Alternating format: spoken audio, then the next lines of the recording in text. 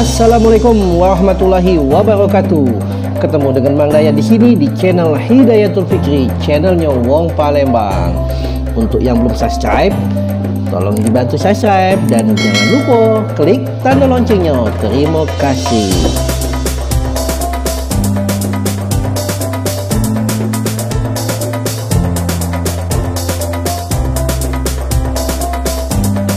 Assalamualaikum dulu-dulu. Hari ini kita nak jingok keadaan Masjid Agung Cak Mano dan apa cerita tentang Masjid Agung.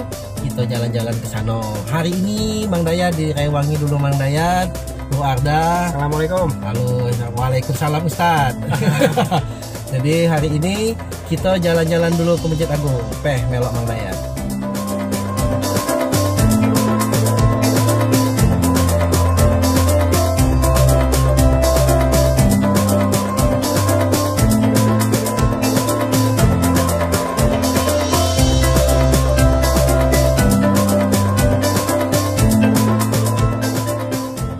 Dalam video Mang Dayat kali ini, Mang Dayat akan bahas 5 fakta terpopuler tentang Masjid Agung Palembang. Dan sebagai wong Palembang, jangan sampai tidak tahu. Number one.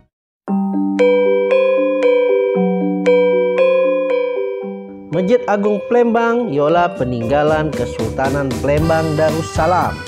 Dibangun pada masa Sultan Mahmud Badarudin I Jaya Wikramo dengan masa pembangunan 10 tahun.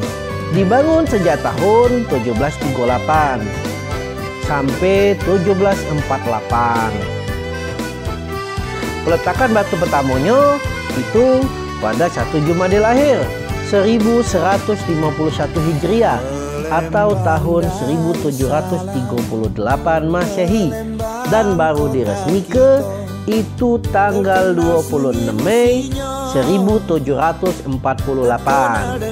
Awalnya Masjid Agung ini tidak kati menaranya. Kemudian di masa Sultan Ahmad Najamuddin yang memerintah tahun 1758 sampai 1774 beliaulah yang membangun menara Masjid Agung.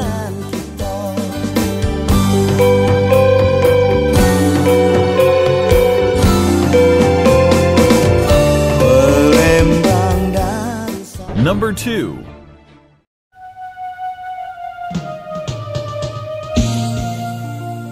Masjid Agung Palembang, masjid tertua di Palembang dan tempat pusat peradaban di kala itu.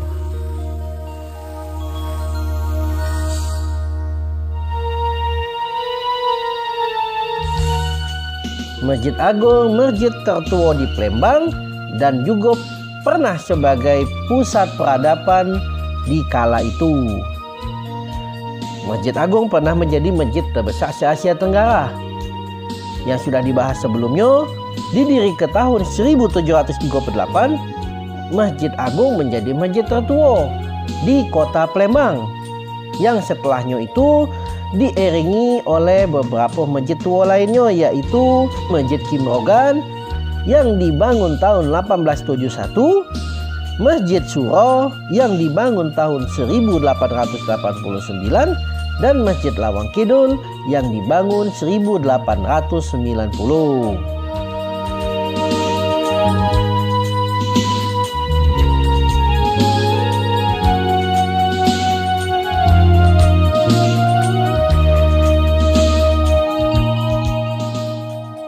Hakikatnya, masjid memang tempat pusat ibadah. Tapi di kala itu, Masjid Agung punya peran yang penting dalam peradaban di Kesultanan Palembang Darussalam, yaitu tempatnya berekonomi, tempat pusat sosial, tempat pusat kebudayaan Islam, selain tempat utama pusat syiar agama Islam.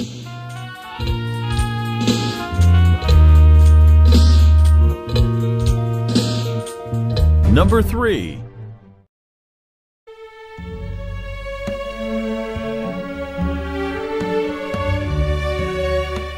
Masjid Agung memiliki tiga gaya arsitek.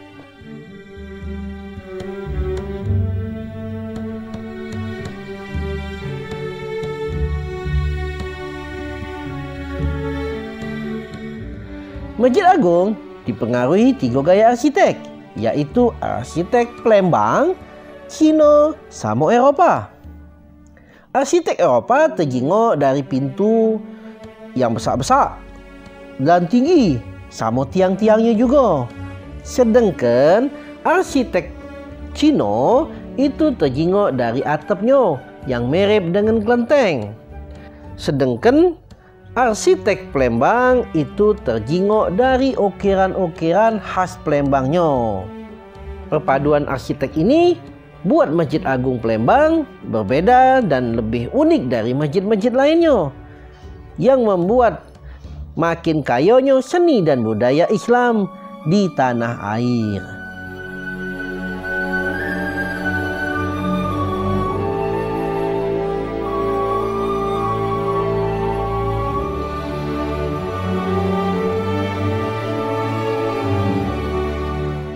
Number 4.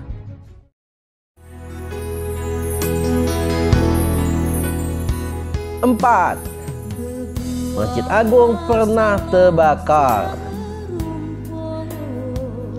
Waktu terjadi perang antara Palembang dengan Belanda tahun 1659 Masehi, ada sebuah masjid terbakar. Masjid itu masjid yang dibangun oleh Sultan Palembang Ki Gedeng Suroh yang lokasinya saat itu di Keraton Kuto Gawang. Baru kemudian tahun 1738 Sultan Mahmud Badarudin I Jaya Wikramo dibangunnya kembali masjid tepat di lokasi berdirinya masjid yang terbakar yang awalnya diunjuk nama Masjid Sultan.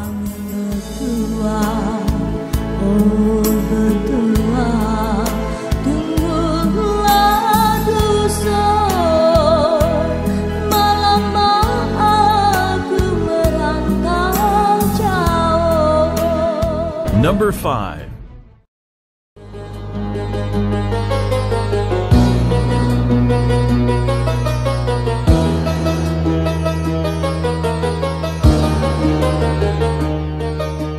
Limo, Masjid Agung adalah cagar budaya.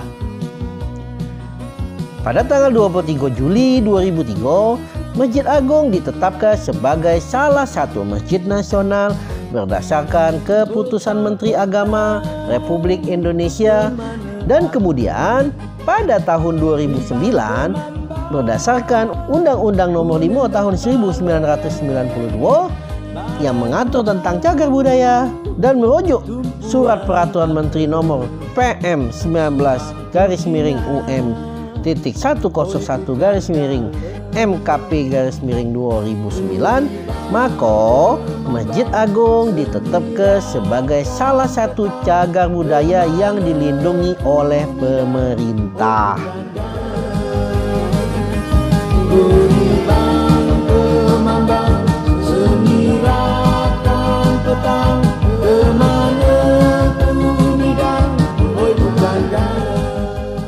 Demikianlah lima fakta tentang Masjid Agung Kota Palembang. Mudah-mudahan bermanfaat. Kalau ada salah baik dari narasi ataupun video Mang Dayat, Mang Dayat minta maaf. Kepada Allah Mang Dayat minta ampun. Wassalamualaikum warahmatullahi wabarakatuh.